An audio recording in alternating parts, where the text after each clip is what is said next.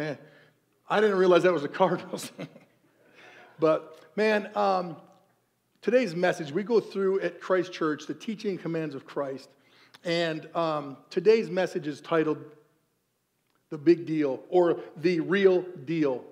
And I, am visual. I love sports. I grew up enjoying sports. Um, so when I saw this, to me, those people are the real deal in my mind. Man, the, the talent they have, the abilities they have. But as we, as I got ready to, to teach and, and write this sermon, looking at the, the real deal and what the real deal really looks like, and if you're, again, new, new here, we're going through the teaching and commands of Christ, the red letters, the, the words in the Bible that are spoken by Jesus. Um, I was looking at it and I'm thinking, there's got to be more to this real deal. It just can't be athletic ability. So I looked up Google. Google is amazing. I put in the real deal, and a list of traits came up for that. And here's the list I. They, they had a bunch of them, but here's the list I thought was perfect for what we are talking about here. It's loving, honest, understanding, loyal, truthful, trustworthy, integrity, and dependable. That was the list of the character traits of somebody that is the real deal. There's a lot more to that list than just someone's ability and their, their greatness in a sport in a specific area. So I wanted to tie in today what that looks like and who we should believe is the real deal. So if you would stand with me out of reverence when we start the reading, um, the teaching and command today out of Luke 14, 25 to 27. It says, this is Jesus talking. It says, a large crowd was following Jesus. He turned around and said to them, If you want to be my disciple, you must, by comparison, hate everyone else your father and mother, your wife and children, brother and sisters, yes, even your own life. Otherwise, you cannot be my disciple. And if you do not carry your own cross and follow me, you cannot be my disciple. Let's pray. Dear God, I ask you to just open our hearts today, speak through me, open our minds so we can learn to grow to be like your son. We thank you for your sacrifice. We just want to be better every day. In Jesus' name we pray. Amen. Please be seated. Preparing for this, one statement he said in there really jumped out to me, and he said it twice in a row. He says, You cannot be my disciple if this happens or that happens. Those are pretty strong words. But hopefully, it leads us to dive in to the utmost importance of our surrender, of our feelings and our will to follow Him fully. See, no one or anything in this world can take the place of Him in our lives. Nothing. He is the real deal. We cannot have standards of our feelings and our happiness are leading us. And whatever makes us feel good, we're going to do. We have to tie it in to love Him above everything else. In comparison, we hate our mother, our father, our wives, our kids, even ourselves, and take up our cross. Look what it says in Luke 18, 29, and 30. This is Jesus again. He says, Yes, Jesus replied, and I assure you that anyone or everyone who has given up house or wife or brother or parents or children for the sake of the kingdom of God will be repaid many times over in this life and will have eternal life in the world to come. Man, that is so much more than we can handle sometimes to think about. He's not saying, oh, just leave your spouse and your family and all that stuff and your house. Just leave and come. He's going, listen, you have to love me so much. When you do, your, your direction, your love, your life, your footsteps are going to follow me fully. They won't be detoured by even our family members. We can't. We have to love him above all else. In comparison, it says, even hate the others. And we'll get into a little bit. He doesn't really mean hate. We talk about the Greek a little bit later.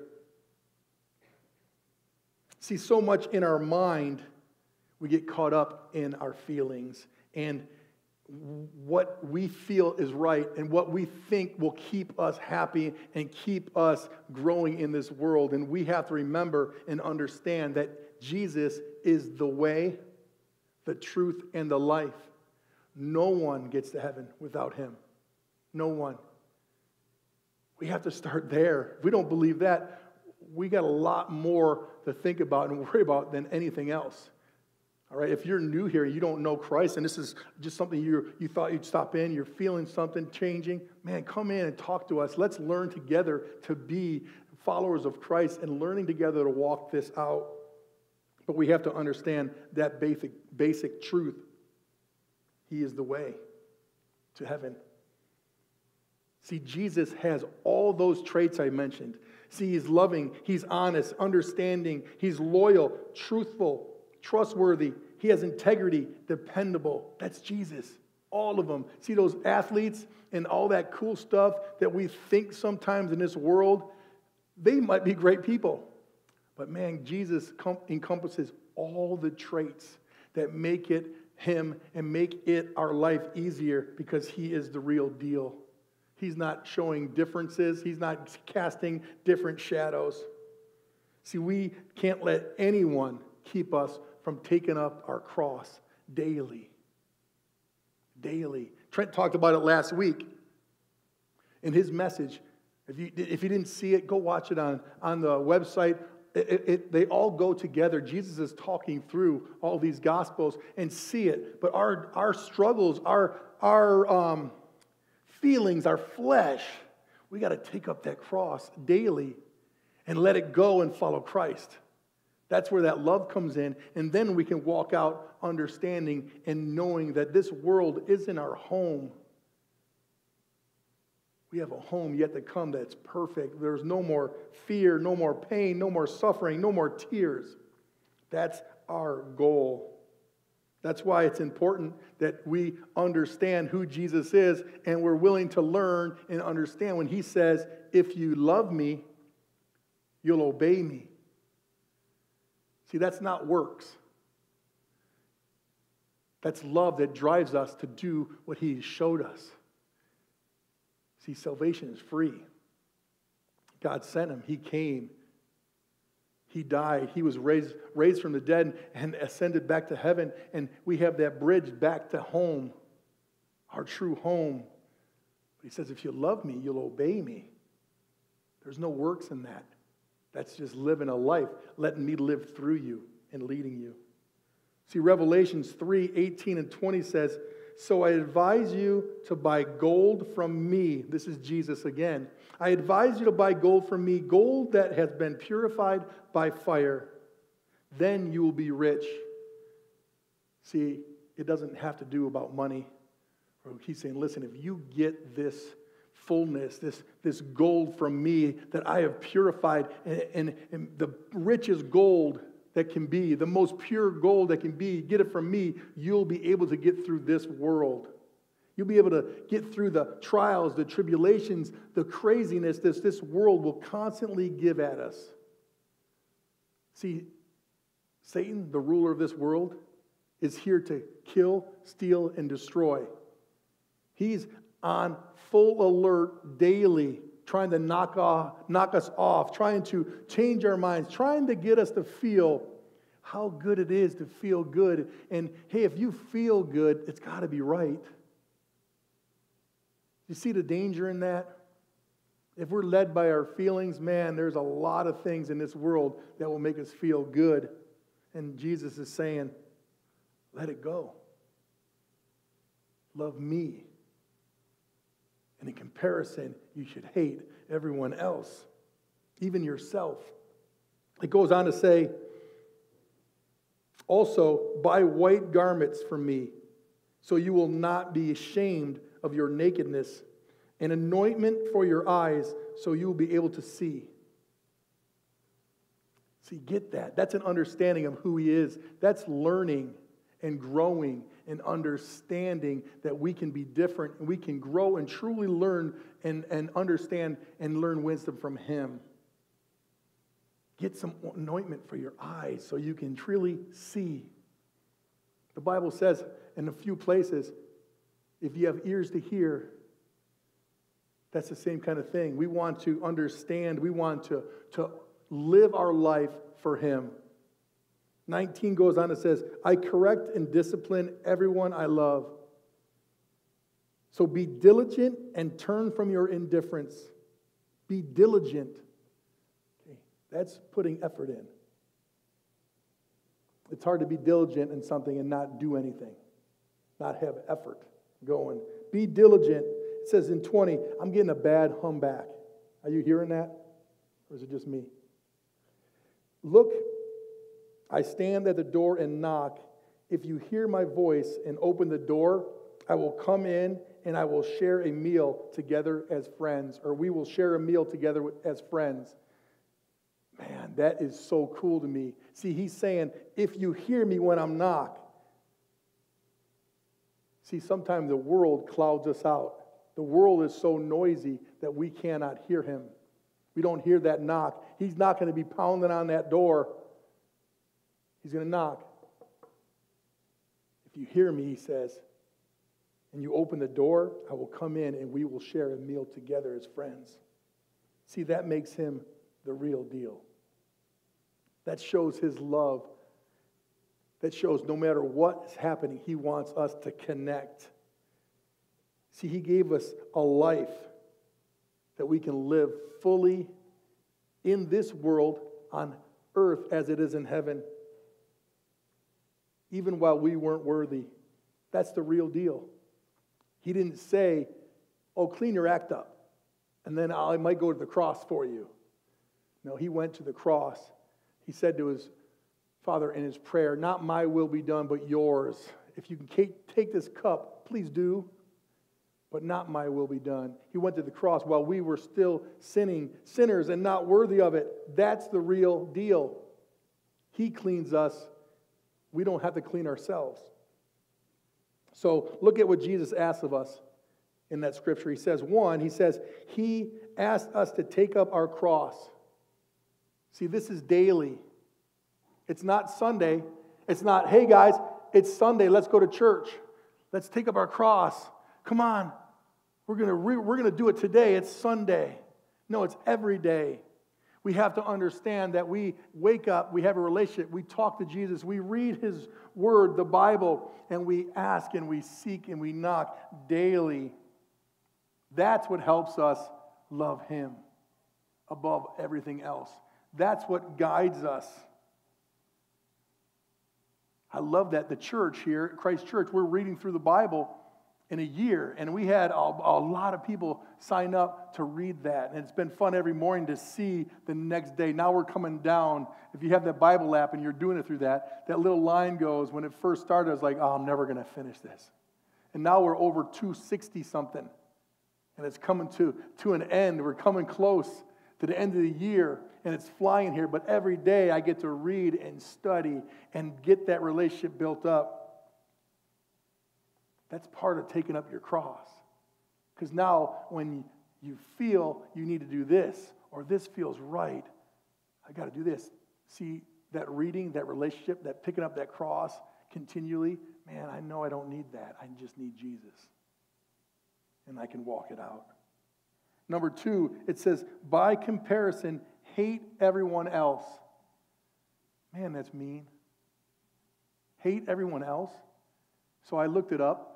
In the Greek, that word hate in context of this scripture is miseo, and it means to love less. That's it. It doesn't mean to hate them where, oh, I'm not talking to you anymore.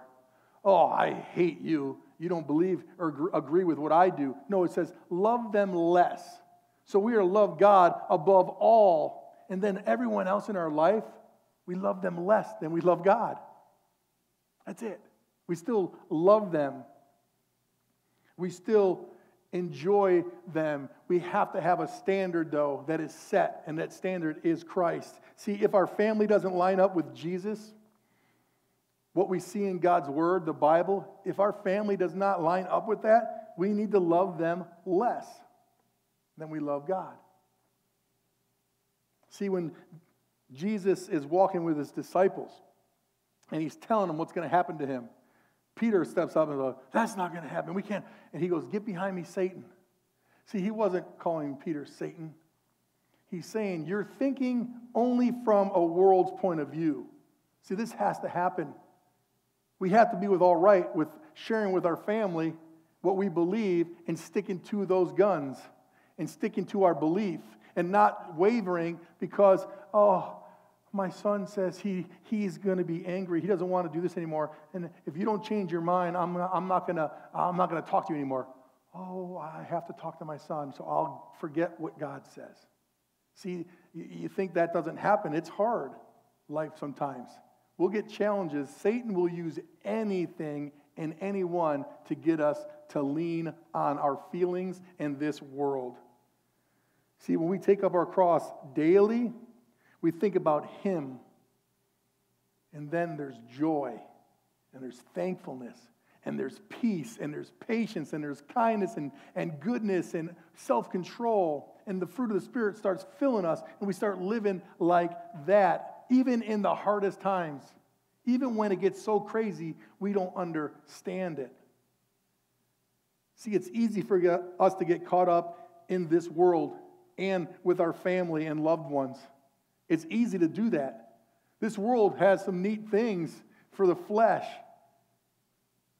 And every day we're ready, but it's easy to get caught up. But when we focus on Jesus and we're building a relationship daily and we're asking and we're seeking and we're knocking and we're growing, we don't become perfect. We become better. We become Christ like. We start living out. We will treat the people in our family and our loved ones and our life way better than we can on our own.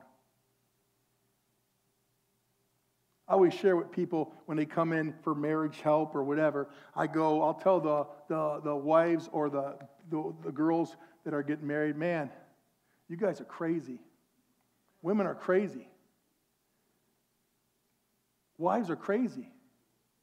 And then I'll go, and guys, you're crazy. In the woman's eye, man, you're nuts. See, we're both crazy without God. We're different people coming together to make it work, and we have to have that alignment with God first. And we love Him above everything else, and we love everyone else a little less than that. And now all of a sudden, we're not living for ourselves. See, our life it should be living for others. And now, that crazy wife, I start living for her and not for me. See, things start working out because God is the center. Christ is the center. And I start living, not just living for myself. Same thing with my spouse when she doesn't just live for her. That's the way you get together when there's two different people working and trying to love and shine a light for people. And that's what Jesus is telling us in this world. This is not your home. There's going to be crazy people, crazy things, crazy thoughts. Lock in with me. I'll get you through there. I'll walk it with you. I'll give you the strength you need. He will never, never guide us wrong. Never. Not a little, not maybe. He will never guide us wrong. Luke 21, 34 and 36 says, Watch out.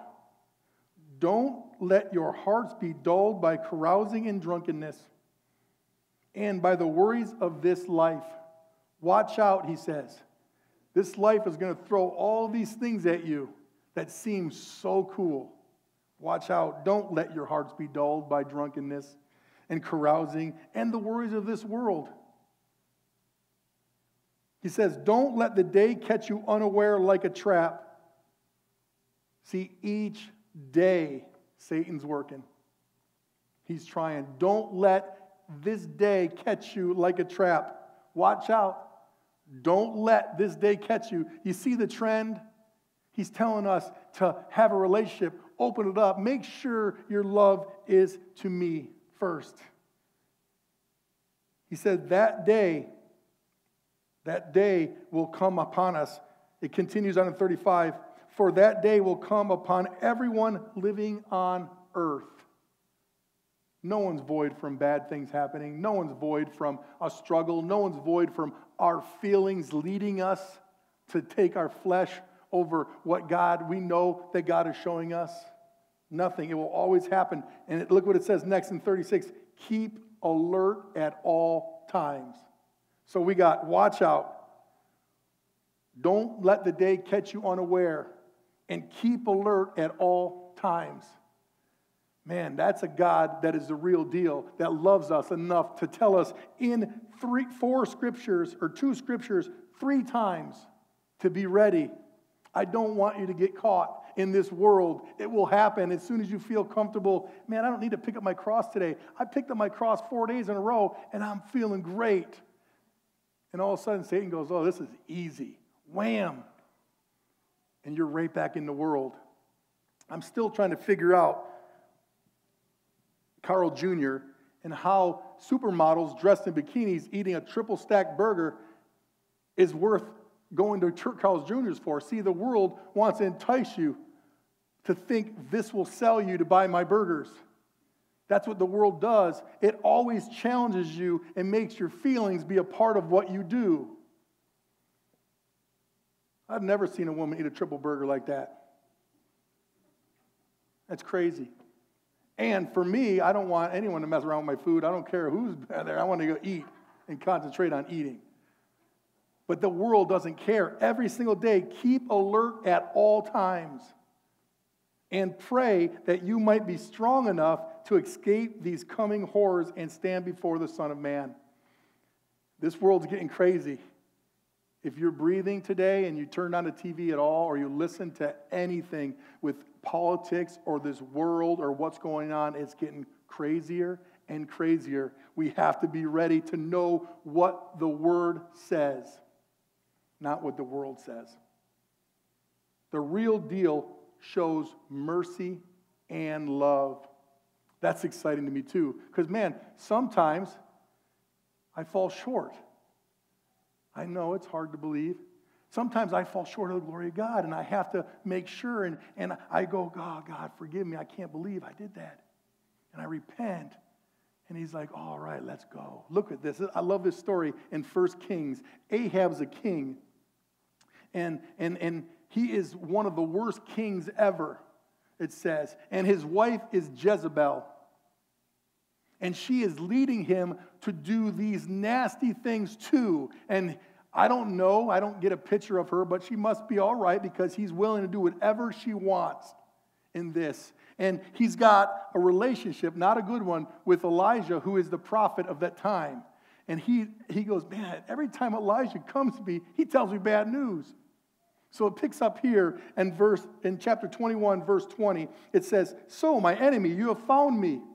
Ahab exclaimed to Elijah. And Elijah goes, Yes, I have come because you have sold yourself to what is evil in the Lord's sight. So now the Lord says, I will bring disaster on you and consume you. I will destroy everyone of your house, your male descendants, slave and free alike. Anywhere in Israel, I am going to destroy your family as I did the families of Jeroboam, son of Nebat, and the family of Baasha, son of Ahijah. For you have made me very angry and have led Israel into sin. And regarding Jezebel, the Lord says, Dogs will eat Jezebel's body at the plot of land in Jezreel. The members of Ahab's family who die in the city will be eaten by dogs, and those who die in the fields will be eaten by vultures. No one else so completely sold himself to what was evil in the Lord's sight as Ahab did under the influence of his wife Jezebel. You need to love the Lord more than your wife, your husband, your parents, your kids, or you're not worthy to be my disciples. See, he's following Jezebel and most of his decisions. And look what God says. It goes on. His worst outrage was worshiping idols, just as the Amorites had done, the people whom the Lord had driven out from the land ahead of the Israelites. But when Ahab heard this message, he tore his clothing, dressed in burlap, and fasted. He even slept in burlap and went about in deep mourning. 28 says, Then another message came from the Lord to Elijah. Do you see how Ahab has humbled himself before me? Because he has done this, I will not do what I promised during his lifetime. Oh, man, that's mercy. See, I don't have to worry about being clean first. He's going to clean me white as snow as I keep walking along. Man, that's pretty hard news. Man, they're going to eat your body, dogs or vultures. I don't know what's better. But just because he humbled himself, all right, this won't happen in his lifetime. That's all God wants from us. Open up and step to him. Look at it, it out. It will happen to his sons. I will destroy his dynasty. See, he's not going to do it if they don't, if they collect and connect and, and start doing his will. But if they don't, this is disaster is happening. That's the same as our life. Like I said, Old Testament is, is different.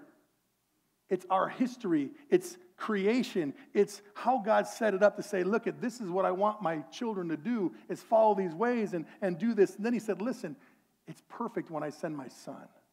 I'm going to send Jesus to bridge it. Now, the New Testament is how we live. I had a person tell me, because I, I believe the Bible is 100% infallible. Word of God. And they, they, they laughed at me posting it and said, So the Old Testament says, if you eat pork, you should die. I eat pork. Should I be dead? That's their concernment of the Word of God. And I was like, oh man, I just pray that you get it. Take the history, the creation, how amazing it was to see the steps it went through, then see Jesus. He died for us while we were sinners. He will wipe us clean. He covered our sins. He wants us to walk it out and love Him more than everyone else. He's not asking much, just for us to love Him more. See, He sent His Son to give us a better life, an eternal life. Joel 2:13 says, "Don't fear your clo- don't tear your clothing in your grief, but tear your heart instead. Return to the Lord your God, for he is merciful and compassionate, slow to get angry and filled with unfailing love. He is eager to relent and not punish." I don't know about you, these are exciting scriptures to me. Listen, he says, don't tear your clothing. That's all that's cool. Tear your heart. Make that transformation real. Tear your heart. He will fill you. That tear in your heart, that hole that you, you have in your heart you feel like can't be filled, the world, you're trying and, and it's not doing it, Jesus will fill that. He says, Tear your heart and return to the Lord your God, for he is merciful and compassionate, filled with unfailing love.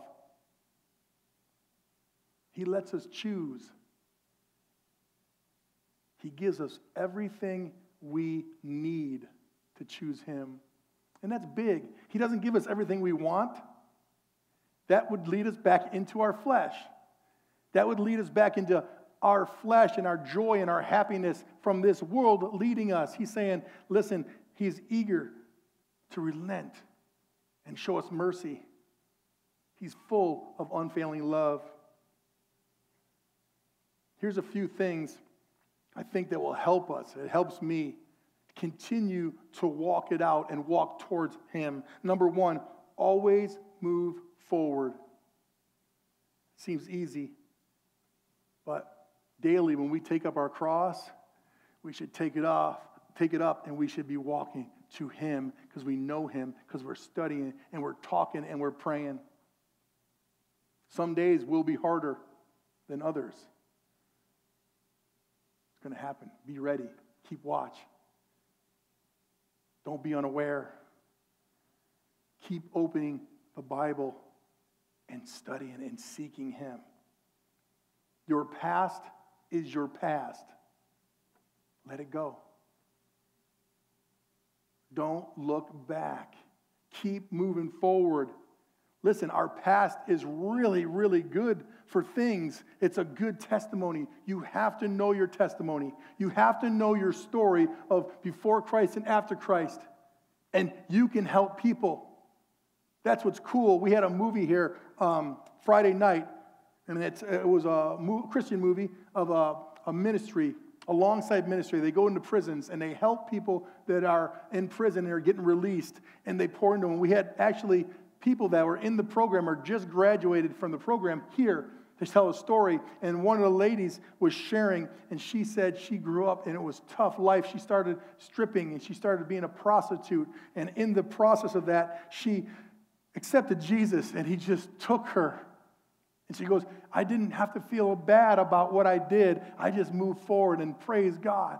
See, he doesn't want us to look back, but he wants us to use it. See, I can't share a testimony about the struggles she's gone through and what God did, but I can share my testimony.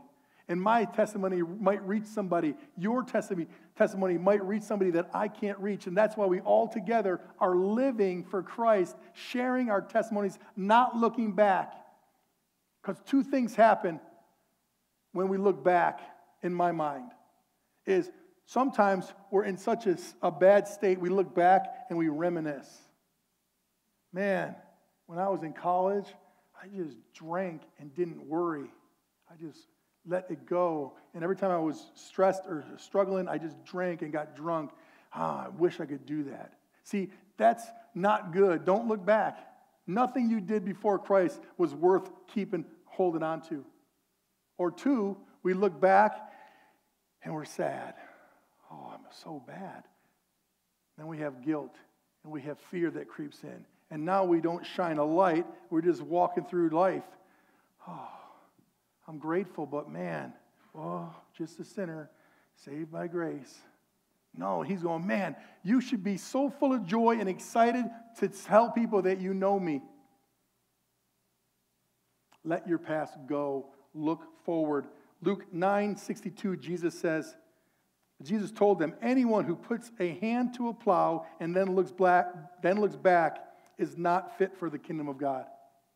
Anyone. You're not fit. Because there's nothing good that's going to go on with that. You know your testimony. I don't have to look back to know what I did. Live it. Then show what change he did in your life.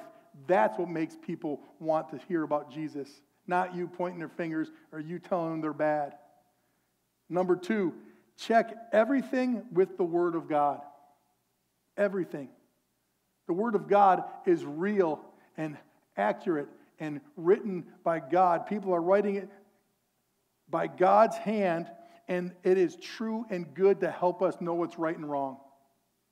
There's no better way to learn what's right or wrong than getting in God's Word and studying it enough to do it. Check everything with the Word. See, John 1 1 says, In the beginning, the Word already existed. The Word was with God, and the Word was God. There's nothing wrong at all with the Word of God. People in this world will tell you. They will try to get you, oh, come on. Really? You can't have sex before you're married? Stupid. See, we have to understand that it is the Word of God that we have to line our life up with. The more we know him, the more we can fully devote to him. Look at Philippians 4 8 9. It says, And now, dear brothers and sisters, one final thing fix your thoughts on what is true and honorable and right and pure and lovely and admirable. Think about things that are excellent and worthy of praise. Keep putting into practice all you learned and received from me, everything you heard from me and saw me doing, then God of the God of peace will be with you. Keep putting into practice. Keep putting into practice. Watch out. Be ready. Stay alert. Hello? Power words said from the real deal, who fills us with his love and fills us with all these traits that make us be able to live in this world and make a difference. See, our parents, our spouses, our kids, if they're living a way that is outside of what Jesus is showing us in the Word, we must choose Him, not them. I know that's hard. I have seven boys, me and my wife. I love them, but sometimes they don't line up with my beliefs, I don't change to make them happy. I live my life to honor God. And my kids will see it over and over and me sticking to my guns and not wavering. And I pray that they accept Jesus and have their own walk with Him. I can't make them, they have to decide on their own. See, we still love them, but we can't let them affect what we believe. We water and plant seeds. That's what we do. God makes it grow. We don't ever give up watering and planting seeds. We can't make it grow. You can't get frustrated when your, your kids or your spouse or when it's not where you're at at this time. You just keep planting seeds and watering. If they don't open up for God to make it grow, it won't grow. The more you push sometimes, the more they put up a wall. Love them, love the Lord more.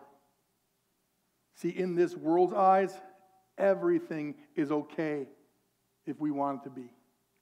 Everything feels good. We're going to make it okay. See, gender. Now there's 100 plus genders. I can't change my gender unless I feel like I need to. Now there's all these genders. No. There's male and female. It's in the Word of God.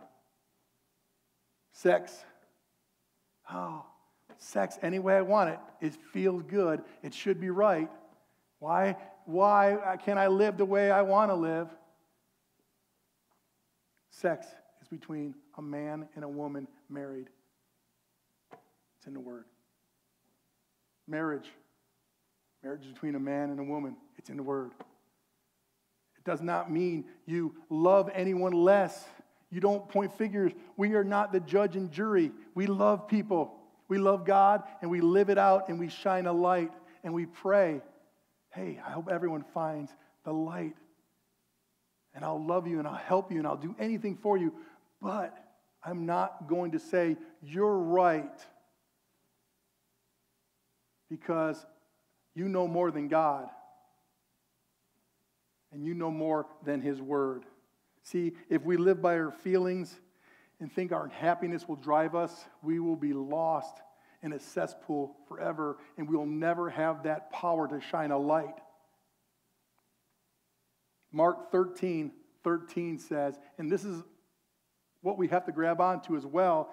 Jesus says, and anyone, or I'm sorry, and everyone will hate you because you are my follower. But those who endure to the end will be saved. See, when we love God above everything else, and we, this world goes, oh, you're just judgmental. You just do this. The world will hate you. I want the world to hate me. I want to live my life for God so much that the world in the extremes hates me.